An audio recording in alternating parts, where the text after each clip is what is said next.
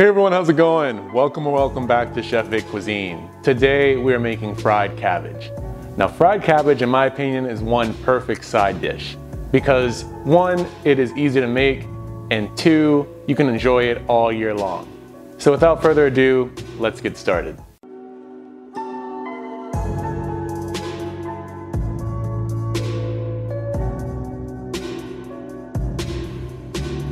All right, so diving right into this recipe, we're gonna start off with the star of the dish.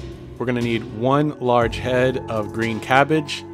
You want to remove the core and then chop up the rest of the cabbage into small pieces. This recipe makes enough for at least four to six servings of fried cabbage. We're also gonna need one large white onion that we're going to finely dice into small pieces. You're gonna need one large bell pepper that you want to remove the core first and then cut into thin slices. And finally, one garlic clove that you want to smash to remove the outer peel first and then use a sharp knife to mince that. Alright, now on to the cooking part. Into a large pot, we want to add in two tablespoons worth of unsalted butter set over medium heat or 350 degrees Fahrenheit or 176 degrees Celsius. We're going to add in our diced onions and cook the onions for about 4 minutes or until they become tender and translucent.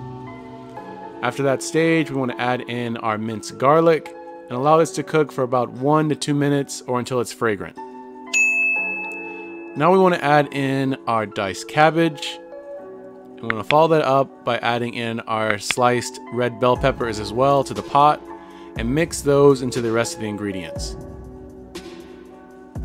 Here we want to add our seasoning, so we're going to start off by adding half a teaspoon of consomme powder, half a teaspoon of garlic powder, half a teaspoon of onion powder, half a teaspoon of smoked paprika, a quarter teaspoon of cayenne pepper, about one and a half teaspoons worth of Lawry seasoned salt, one and a half teaspoons of freshly ground black pepper, and about two tablespoons worth of Worcestershire sauce. Mix all these ingredients together until they're well combined. Now for some added boost in flavor, we want to add in one more tablespoon's worth of unsalted butter, one tablespoon's worth of apple cider vinegar, as well as one teaspoon's worth of granulated white sugar. Give these ingredients a quick toss and cover the pot and allow these ingredients to cook for about 10 to 12 minutes over medium low heat or 249 degrees Fahrenheit or 120 Celsius.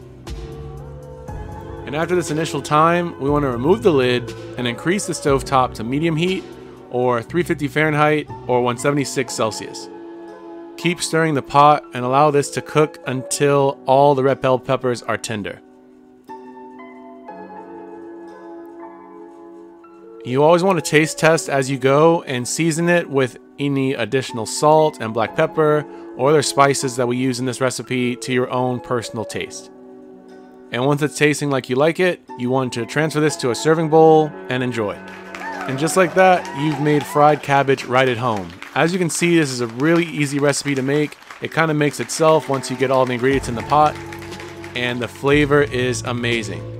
For even more flavor, you can add bacon to this recipe if you want. Fry the bacon first in the pot, and then you want to use its grease as a substitute for the initial 2 tablespoons worth of butter. My fried cabbage is vegetarian, but feel free to add this bacon as a great boost in flavor as well. But when you do try this recipe at home, be sure to tag me at Chef Cuisine or hashtag Chef Cuisine so I can see your great takes on this dish. As always, this recipe and many more can be found in my cookbook, Chef Vic Cuisine Volume 4, Enhancing Your Inner Chef. And that's available on Amazon, and I'll be sure to leave a link to that in my description box. And feel free to click the pop-up on your screen for more information on that as well. Thank you all so much for watching. I really hope you enjoyed learning how to make fried cabbage, and if you did, make sure you smash that like button for me. It's one of the best ways to show support for the channel. And if you haven't done so already, Hit that subscribe button too to see more recipes just like this one. And sharing is caring, so if you enjoyed this recipe and think someone else will too, feel free to share this with all your family and friends. And stay tuned for next week where I show you my classic take on the Louisiana dish jambalaya. This is an amazing entree choice that serves a large crowd. Well, thank you again all so much for watching. I really appreciate it. You can always check out more recipes on my page now. YouTube thinks you'll like these videos, so let's see if they're right. And I'll catch you next time on another episode of Chef Vic Cuisine. And until then, peace.